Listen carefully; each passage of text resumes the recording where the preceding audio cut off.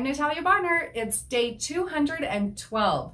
Today we're going to be stitching using my 4-in-1 machine quilting ruler. Now I just want to take a second and remind you that my brand new class, Let's Stitch Scallop Borders, starts on January 1st. This class is on sale for just $35 until January 1st. So hop over to my website, pieceandquilt.com and check out that class. It's going to be so much fun. But in the meantime, let's get stitching.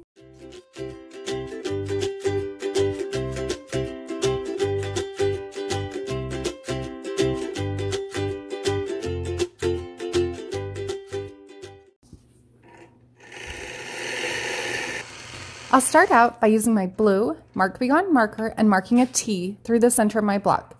After I've marked my T, then I've measured in a quarter of an inch from all four sides and made a marking there. I'll begin stitching in the center of my block. From the center of the block, I'll stitch a curved line. You can go in any direction out to that marked point. Then I'll adjust my ruler and stitch back to where I began stitching. Once I've stitched one petal, then I'll move on and repeat this on all four of those lines, coming back to the center point every time. Now that I'm at that center point, I'm going to stitch out along that marked line, moving out about halfway through the block, then back to the center point. I'll repeat this process on all four sides of the block, adding that fun little vein to the inside. Now I'll travel along my previous stitch line, moving out to add an echo stitch around the outside of this block. You will notice that I will adjust my ruler slightly as I'm stitching to create a nice, even, and consistent echo all the way around the outside of each of these blocks. After I've stitched that echo all the way around, then I'll finish off this design by stitching in the ditch around the outside of the block and spritzing away those marked lines.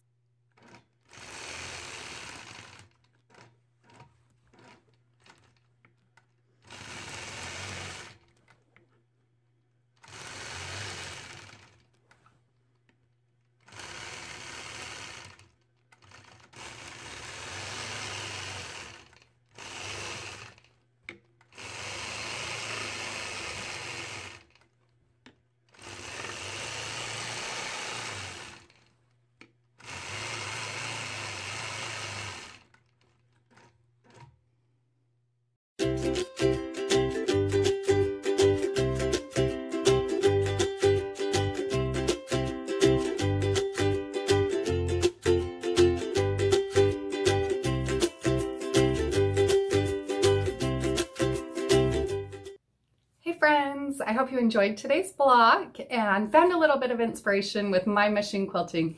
Now just remember, you can pick up the panel, the rulers, the thread, all of the notions that I'm using in this video today over on my website, pieceandquilt.com.